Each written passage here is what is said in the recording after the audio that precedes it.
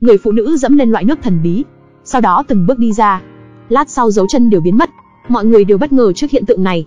Bà Đồng thì không quan tâm chỉ muốn thực hiện nghi lễ. Vào lúc bà ta đang chuẩn bị cầu phúc, một dòng nước đen đột nhiên đổ xuống đầu bà ta. Bà Đồng vốn dĩ trắng trẻo, giờ đen thui toàn thân như than. Mọi người đều nói bà ta bị thứ gì đó không sạch sẽ chiếm thân. Người hầu cầu xin bà ta đừng làm hại mình, nhưng bà ta cũng chẳng quan tâm họ, bởi vì mục tiêu của bà ta là Rita vừa nổi tiếng. Tiếng tăm của Rita ngày càng cao. Angela đưa cô bé đi khắp nơi cầu phúc cho tín đồ để moi tiền. Lúc này bà Đồng xuất hiện, bà ta đẩy Angela ra, rồi trực tiếp đưa Rita đi, mọi người đều tưởng rằng bà ta điên rồi. Lại dám ra tay với Rita ngay trước mặt mọi người. Bà ta đưa Rita tới giếng. Chỉ thấy bà ta giơ tay lên không cho mọi người tiến lại gần. Ai cũng sợ hãi dáng vẻ bà ta lúc này. Người đàn bà điên này rốt cuộc muốn làm gì? Bà ta vừa hô nữ thần vạn tuế, vừa kéo nước từ giếng lên. Nữ thần đơ ga vạn tuế, nữ thần đơ ga vạn tuế.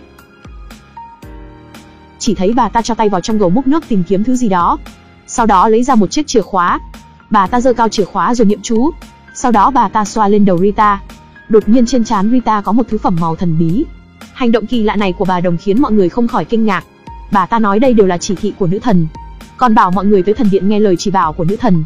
Mọi người đều ngơ ngác đứng nhìn bà đồng. Mọi người lại bắt đầu nhớ về lời nguyền muốn đàn ông trong thôn đều phải chết hết, mà lo sợ. Đột nhiên bà đồng mỉm cười. Ta bảo vệ thôn trang nhiều năm nay đã hoàn thành sứ mệnh mà nữ thần giao cho. Vì thế từ nay, sẽ để Rita gánh vác trọng trách bảo vệ thôn trang này. Lời này nói ra mọi người kinh ngạc. Mọi người thi nhau bàn tán không dám tin đó là sự thật. Cho tới khi bà ta đích thân bế Rita lên tòa sen ngồi. Thậm chí còn tháo khăn trùm đầu choàng lên cô bé. Rita là hóa thân của nữ thần. Ta hoàn toàn tin rằng Rita có năng lực bảo vệ thôn. Tín đồ vô cùng tiếc nuối chỉ muốn bà đồng ở lại. Nhưng bà ta lại nói mọi người nhất định phải tin tưởng Rita. Sau đó thì kiên quyết rời đi. Nhưng trực giác nói với Angela, đây nhất định lại là quỷ kế của bà ta. Bởi vì bà ta chắc chắn không phải người dễ dàng từ bỏ quyền lợi của mình. Cùng với lúc này, bà đồng vừa vào phòng, xin ta lại bên một chậu nước kỳ lạ vào. Bà đồng lại dẫm vào đó. Mỗi bước ra ngoài đều in dấu chân. Lát sau dấu chân lại biến mất. Bà ta cuối cùng cũng không nhịn nổi nữa. Bật cười thành tiếng. Biểu cảm đắc ý của bà ta khiến người ta không khỏi nghi ngờ. Xin ta ngồi đó còn cười lớn hơn. Hóa ra tất cả đều là âm mưu của bọn họ. Người trong thôn này đều là kẻ ngốc hết.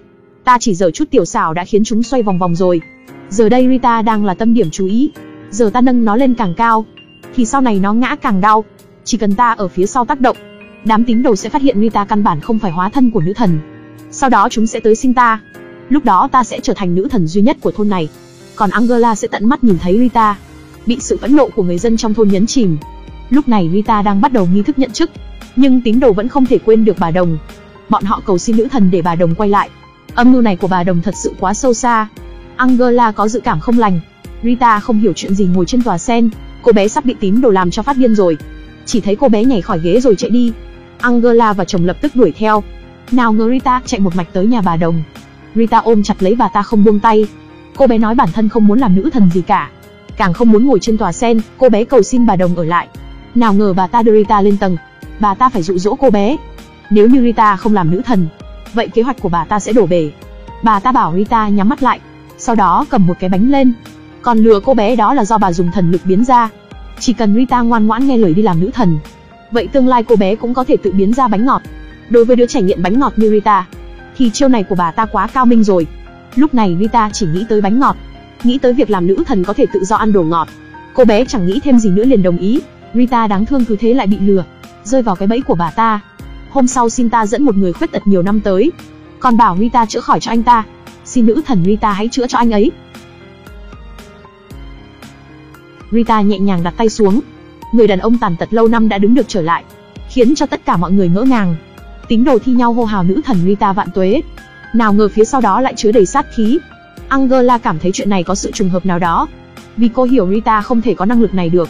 Hiện tượng quỷ dị này khiến Angela kiếm được món tiền lớn, nhưng số tiền lớn này cũng không thể xóa bỏ sự nghi ngờ trong lòng Angela. Nghĩ lại chuyện xảy ra lúc sáng, Angela nghĩ mãi không hiểu tại sao. Còn lúc này Sinta cũng đứng ngồi không yên. Anh ta đem chuyện xảy ra lúc sáng kể cho bà đồng nghe. Sinta thậm chí hoài nghi Rita có thần lực thật sự. Nghe lời kể của Sinta, bà đồng liền gạt phăng đi. Tên ngốc nhà ngươi, đây đều là do ta sắp xếp. Tên quẻ đó là diễn viên ta thuê về. Rita danh tiếng vang xa tới đâu thì Angela kiếm càng nhiều tới đó. Vậy thì cuối cùng mất đi càng nhiều. Đây chính là kế hoạch của ta. Ta phải khiến A cả đời không thể ngóc đầu lên nữa. Hôm nay xin ta mới được biết thế nào gọi là lòng người hiểm ác. Bà đồng cầm ly rượu lên uống một hơi hết sạch. Bà ta dường như nhìn thấy nữ thần thắng lợi vẫy chào. Hôm nay các người cứ tận hưởng đi Angela. Ngày mai các người sẽ biết thế nào là tuyệt vọng. Hôm sau Rita lại như mọi ngày, tới thần điện cung phụng nữ thần. Đột nhiên một người đàn ông xông vào, còn không ngừng xin cứu mạng. Anh ta nói con gái anh ta vài ngày nữa phải kết hôn. Anh ta đã thế chấp nhà của mình, nhưng không cách nào gom đủ của hồi môn cho con. Nếu như không có hồi môn, vậy thì con gái anh nhất định sẽ bị nhà trai sỉ nhục. Vừa nói xong Rita liền tháo vòng vàng tặng cho người đàn ông. Anh ta hô hào Rita vạn tuế. Nhưng Angela thường ngày ham mê tiền tài nay lại mặt lạnh như không có gì xảy ra. Chồng cô còn tưởng cô uống nhầm thuốc.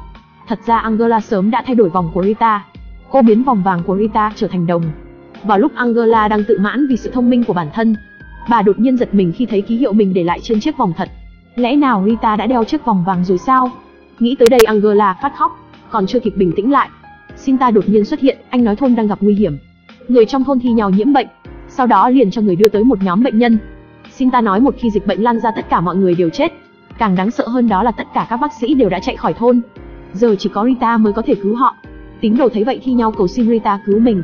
Nhìn Rita mãi không nói gì, tâm phúc của bà đồng nhân cơ hội phá đám. Nói rằng cô bé chính là một tên lừa đảo. Bà đồng nhất định là bị cô bé mê hoặc mới để cho Rita làm người kế nhiệm. Nếu như trong thôn có người chết, Rita phải chịu toàn bộ trách nhiệm. Angela ý thức được đây có lẽ là trò của bà đồng, nhưng không có chứng cứ nên cô không thể nói bừa. Chuyện tới nước này cô chỉ đành để mọi người yên lặng đã. Cô nói nhất định nữ thần sẽ chỉ cho Rita. Đột nhiên Rita nói, con đã tìm thấy phương pháp trị bệnh, nhưng quay lại chỉ thấy con bé cầm một cái chổi. Mọi người ngơ ngác không biết Rita định làm gì.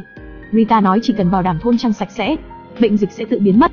Xin đó người sắp chết rồi vậy mà còn bắt chúng tôi quét dọn đường xá. Angela vội vàng ngắt lời. Phương pháp này là nữ thần chỉ cho Rita, vậy mà cậu dám nghi ngờ. Vừa nói dứt lời, thì Rita đã ngây ngô vạch trần mẹ. Chuyện này là con đọc được trong chuyện thần thoại của em gái. Angela vội vàng ngắt lời và dục mọi người mau đi quét dọn.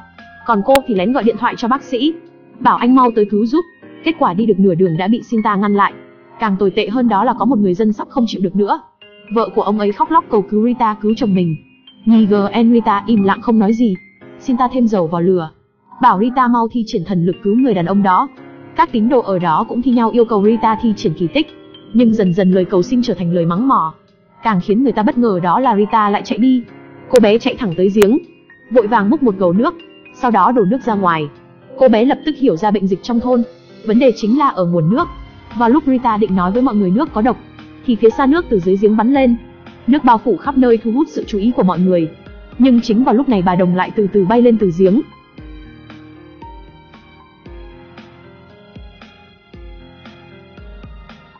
Mọi người nhìn không chớp mắt, thấy bà đồng trở lại oai phong.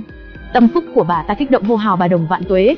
Nhìn người đàn ông nằm đó đang hấp hối, bà đồng bảo người hầu đem tới một loại nước kỳ bí. Chỉ thấy bà ta đỡ cái chung rồi đổ nước đó xuống. Nước chảy xuống mặt người đàn ông. Trong đó còn có cánh hoa hồng. Sau đó người này lập tức bình phục, còn không ngừng khen ngợi bà đồng là tiên nữ dáng trần. Tâm phúc của bà ta cũng nhân cơ tân bốc nói bà ta là thần hộ mệnh của thôn. Rita căn bản không có năng lực bảo vệ thôn, Bà Đồng lại nói đây đều là lỗi của ta, là ta hiểu lầm dụng ý của nữ thần. Nữ thần vốn không muốn Rita giữ vị trí bảo vệ thôn, mà là để Rita ở bên cạnh ta. Không ai được chỉ trích Rita, sỉ nhục Rita chính là sỉ nhục ta. Sau đó bà Đồng kéo Rita về phía Angela.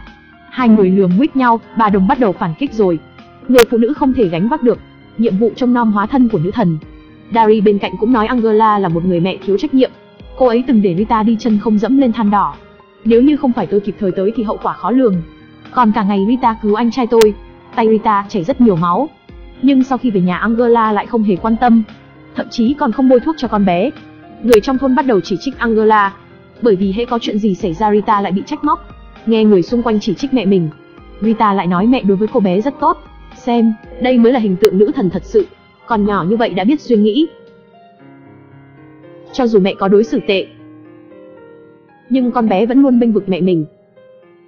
Đây mới là người kế thừa tương lai của ta. Bà đồng chỉ vào mặt Angela mà nói, cô vốn nên chăm sóc tốt Rita, nhưng cô lại biến con bé thành công cụ kiếm tiền. Đừng hòng rào biện, nữ thần đã nói với ta rồi. Cô lén đem tiền mà tín đồ quyên góp chiếm làm của riêng. Cô rốt cuộc để số tiền đó ở đâu? Muốn được tha thứ, thì mau chóng đem số tiền đó về thần điện. Thấy Angela không nói lời nào, người hầu bên cạnh nói số tiền đó nhất định không lấy ra được, bởi vì họ đã mua rất nhiều đất ở thôn bên cạnh. Angela định phản bác, liền bị bà đồng tát cho một cái. Thứ xấu xa này, số tiền này vốn thuộc về ta. Cái tát đột ngột khiến Angela đứng ngơ ra đó. Angela lúc này là dám giận nhưng không dám nói ra. Ta sẽ không nghe bất kể lời giải thích nào. Ta tới đây để cứu thôn khỏi dịch bệnh, càng quan trọng là bảo vệ đứa trẻ này. Ta sẽ để Rita thoát khỏi móng vuốt của cô. Chiêu này của bà Đồng thật sự rất cao minh.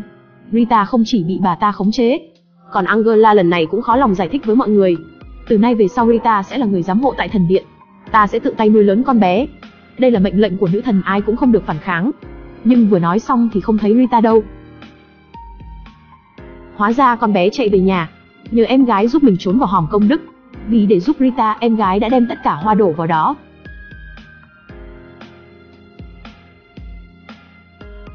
Em đi lấy hoa. Lúc này bà Đồng đang sỉ nhục Angela. Cô quá ngây thơ rồi, thế mà lại dám đem một đứa 7 tuổi ra đấu với ta. Thậm chí còn mơ tới chức vị hiện tại của ta. Giờ đây đứa trẻ này trở thành người dưới trướng của ta. Xem cô còn lấy gì đấu với ta. Tát cô một cái là để cô nhớ rõ. Âm thanh này sẽ bên tai cô suốt cả đời. Nếu như không muốn mất đi tất cả, thì lập tức đưa ta tới trước mặt ta. Nếu không ta sẽ nói với tất cả mọi người. Nữ thần Durga đã báo mộng cho ta. Angela sẽ lần nữa mất đi tất cả sau đó bị đuổi khỏi thôn. Nghe những lời hăm dọa đó của bà Đồng, Angela chỉ có thể âm thầm chịu đựng. Còn lúc này, mọi người đều đang đi tìm Rita. Nhưng sau khi đã lục tung cả nhà Angela lên, cũng không thấy tung tích của Rita. Người hầu của bà ta tức giận, nên muốn cắt đứt điện nước ở đây, thậm chí còn muốn cắt cả nguồn thức ăn. Nghe thấy họ định ra tay với gia đình mình, Rita không nghĩ được gì liền bật dậy. Chú ơi, cháu đồng ý đi cùng chú, nhưng xin các chú tha cho gia đình cháu. Cô bé chạy thật nhanh tới ôm Angela, nhưng Angela lúc này chẳng còn chút tinh thần nào nữa. Cho dù Rita có làm thế nào Angela cũng không đáp lại. Mẹ ơi mẹ nhìn con đi, con vĩnh viễn sẽ không lấy đi của mẹ thứ gì. Chỉ xin mẹ cười với con một cái. Người hầu của bà đồng lôi Rita đi. Nhưng cho tới cuối cùng Angela cũng không nói với con bé một lời nào. Bởi vì Rita đã không còn giá trị lợi dụng nữa. Rita đáng thương vừa thoát miệng hổ lại rơi vào tay sói. Nhớ like và follow nhé. Các tập sau sẽ càng hấp dẫn.